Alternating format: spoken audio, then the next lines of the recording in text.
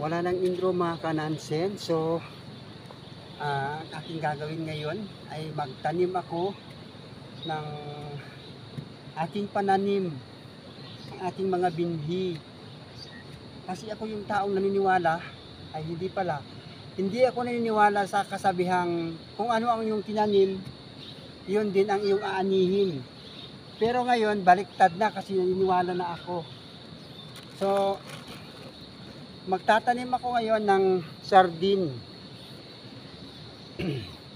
Aanhin mo ang iyong pananim kung itry ko lang itanim itong sardine kung ito pa rin ang aking aanihin.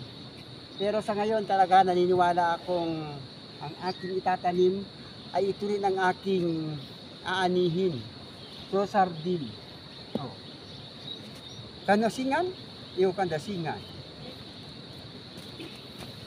Hindi nyo pala nakikita ang aking mga pananim na sardine at saka ano.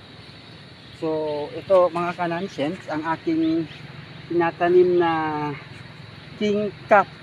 Oh, di ba? Ayan. Tingnan ko lang kung pero mga kanansens ha, kung ito ba'y tawag nito, pelikula, ano ang title o ano ang pamagat? Meron pa akong peles, o di ba? Tatanim ko pa ito. Pero ang totoo talaga mga kanansens, ako yung taong naniniwala ay hindi naniniwala pala sa kasabihan kung ano yung tinanim, siya rin ang aanihin. Kasi pag ah tinanim mo ang binhi, alangan naman din, yun din ang aanihin mo. Mga nonsense talaga kayo. So, ito guys, ito mga kanansens, ang aking mga pananim na aking uulamin na napakasarap na sardine. At saka, ayan. So, oh, di ba? Mga kanansens. Tingnan ko nga. Oh, di ba sardine pa rin? Namit. So, napakalawak ng ating ating garden. Oh, di ba? Hanggang doon. Tapos diyan oh. Oh. Tulay pa 'yan.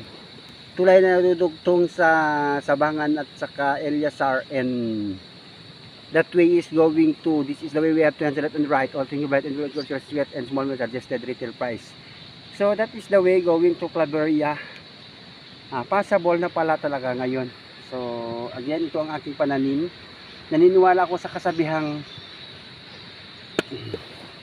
kung ano ang iyong tanim nonsense talaga okay lang ha siya rin ang aanihin pero hindi talaga. Kasi kag, kapag nagtanim ka ng binhi alangan naman na yun pa rin ang taanihin mo. Bunga na ah, mga tanga. Oh di ba? Homie ay payless ang aking tinanim